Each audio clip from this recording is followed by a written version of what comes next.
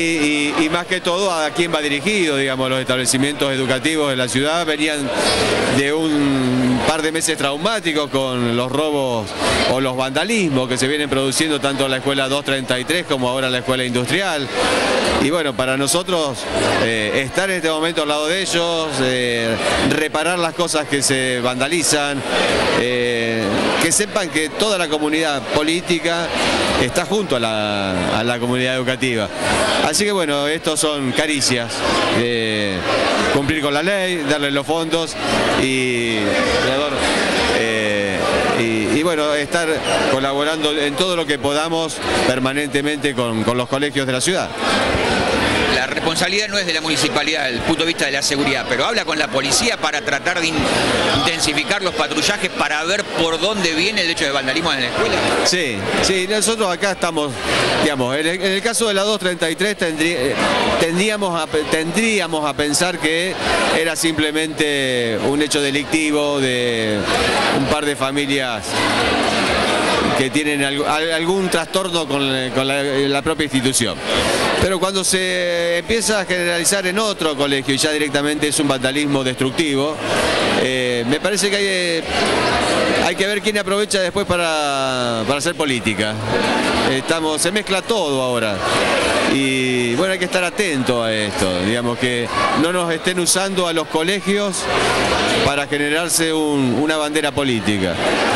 Eh, lo lamento, pero bueno, hay, gente muy ruin y, puede estar pasando esto. Así que estamos poniendo todo el foco de, visualizar a través de las cámaras de seguridad los movimientos alrededor de las instituciones. Eh, la policía está haciendo lo posible. Yo en el día de ayer hablé con Jefatura San Lorenzo para reforzar con operativos la seguridad en la ciudad, fundamentalmente eh, los pequeños hechos, los pequeños delitos, porque ayer también hubo allanamientos de, la Policía Federal eh, en la ciudad, eh, resultados positivos en algunos casos.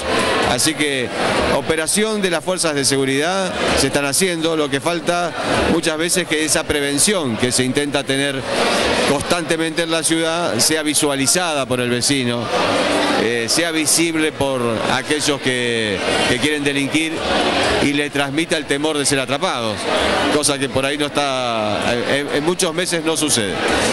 Pero bueno, hoy fue un momento de, buen diálogo, aprovechamos la visita del senador nacional Omar Perotti para que la gente de, también de Verbano, de Fallar, lo pusiera al tanto de, de su problemática.